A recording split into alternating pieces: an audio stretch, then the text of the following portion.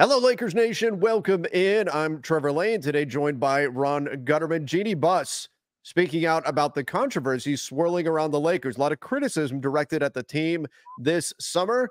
What does Jeanie say about that? Ron, let's uh let's dive in here. This is from the LA Times.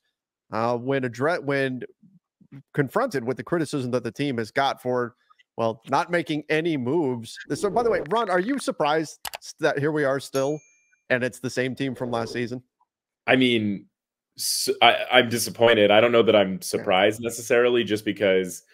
I mean, we kind of saw what was out there. And when the Lakers struck out on the few things that they felt were winning moves, uh, it kind of felt like this was always going to go this way because they weren't, they didn't want to overpay or they didn't want to do whatever. So, I'm, I mean, I'm disappointed that it's the same team, but I'm not surprised that it's the same team. Well, Jeanie, when when addressed when addressing the criticism that was been has been thrown at the team. And again, I think rightfully so. I think there were expectations that they were going to do something this summer that they would try to improve the team, and I think they have tried, but eh, but succeed no.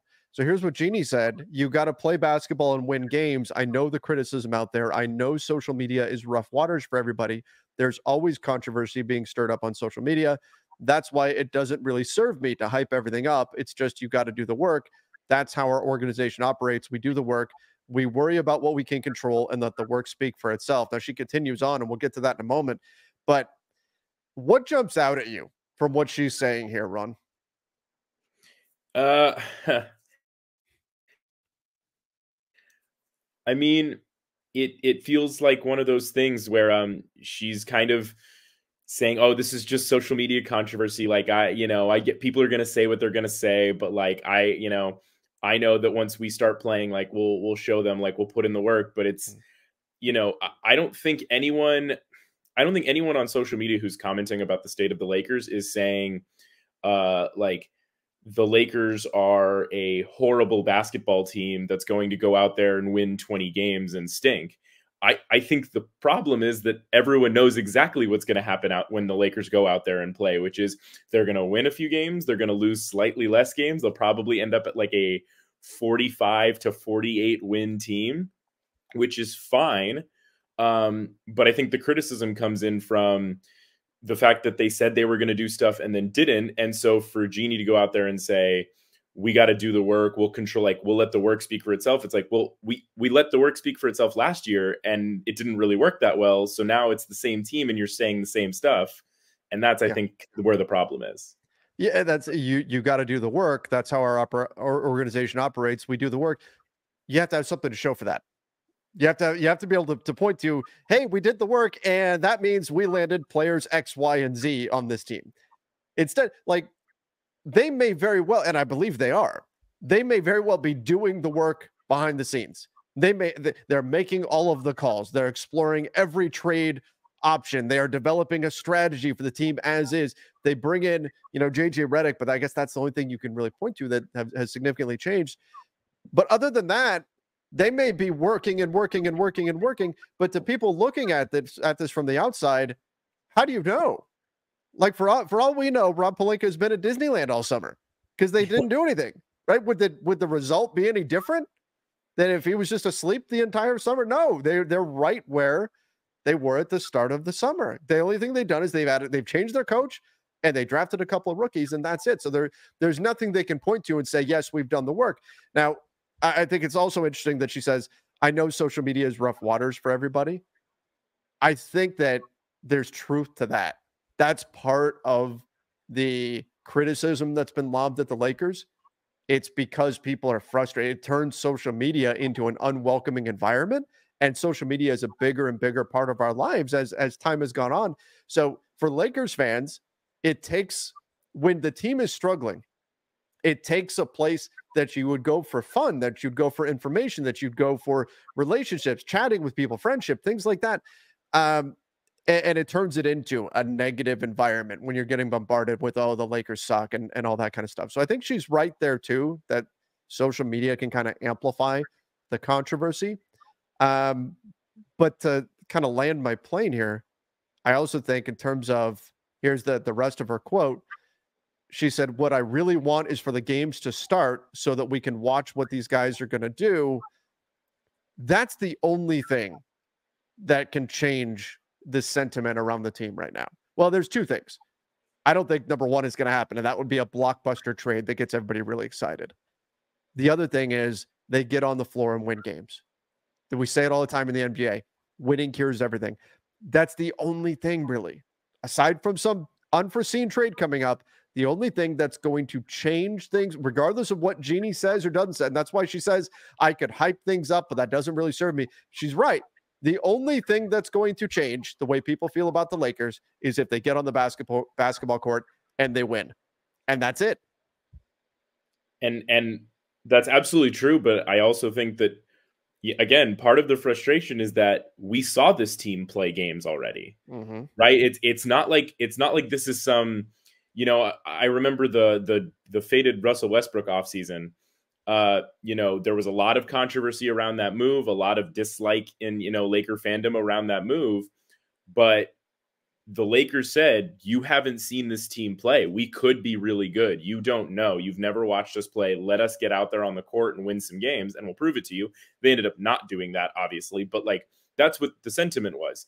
And they're trying that again, but they're running it back you can't use that sentiment when you run it back uh, because I just watched this team play 87 right. games, 82 plus five in the playoffs. Like I just watched that happen. So I don't necessarily need like there's a chance they go out there and they win 55 games like they're a better team than last year sure. somehow. There's that's absolutely a possibility and I will eat my words if that happens. But I just watched them play 87 basketball games as a roster. LeBron James and Anthony Davis were like scarily healthy the whole year because we kept feeling like it was going to go a different direction. Um, and they didn't win enough and they lost in the first round. They won one playoff game. So uh, that's where it's kind of like, I, you know, I appreciate the sentiment of let the players go out there and do the work, but I, I already watched them do the work. It's the same team. Yeah.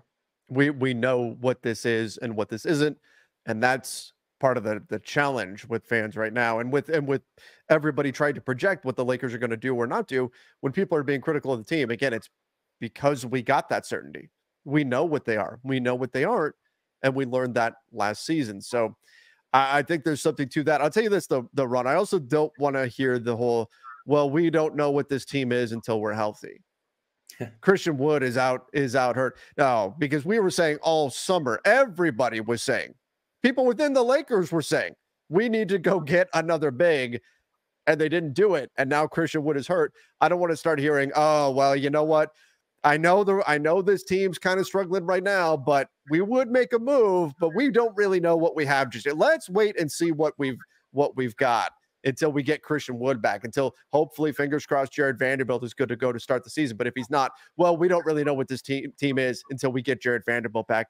No, as you're saying, Ron, we already saw it. We saw it last season. That's no excuse to not make a move.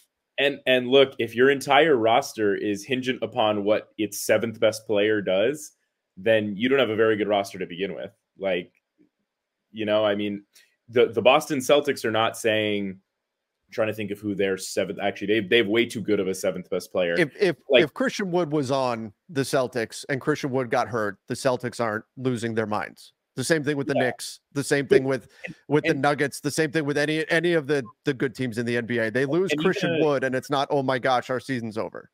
And even a Jared Vanderbilt. I mean, look, Jared Vanderbilt yeah. is, you know, a borderline starter bench player. Like he's right on that cutoff of like could be a starter, could be a bench guy. No one in the NBA that's a good team is losing a player like that, maybe their fourth, fifth, sixth best player and saying ah like we we can't do anything until we get him back because we just we're missing so much right now. Like nobody nobody's saying that. I'm trying to think of like what that equivalent is on like a dallas mavericks a boston celtics a denver nuggets whatever but like mm-hmm. it, it's it's no team like, is doing that. Like the mavs lose maxi kleber yeah or or you know, um, are, are, um, they are they panicking that oh my god you know that's part of the issue too when we talk about this lakers team and yes, they have 15 roster spots filled. They have 15 roster spots filled and are not a deep team. No. That's that's not good. That's and, where and that's why losing Christian Wood actually does hurt and why it ramped up all the criticism around the team. Yeah, and and you know, I, I, said this. I think I said this earlier in free agency. I think in like July, probably. I said this. But if Rob Pelinka after the season ended, in his exit interview, had said, "We really like this team. We're not changing much. Like we're not going to go seek out. Like if a big blockbuster trade falls in our laps, well, of course we'll look at it. But like we're not seeking out major adjustments to this team. Mm-hmm. People would have been upset then, but when it happened, they would have said, well, Rob Pelinka told us this is what he was going to do. We can't be that upset. But it's the it's, fact that he said we are making changes and then just didn't make any changes of any kind. We're going to have multiple picks over the summer right there that was the discussion at the trade deadline. We're going to multiple picks over the summer to use. We think we're going to be able to use those and and improve and all of that. So that was the expectation. And then that expectation wasn't met. Managing expectations is a very important part of all of this. Of course, that's a great point, Ron. Um, ultimately, though, Jeanie's right in that what she says, even if she says, "Oh, I think this team's going to be great," isn't going to change much.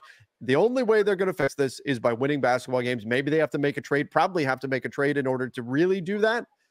But the only way you're going to change the neg- negativity around this team is to step on the floor and win games. If they step on the floor and they lose, the negativity will perpetuate. It will continue. The only solution is to win.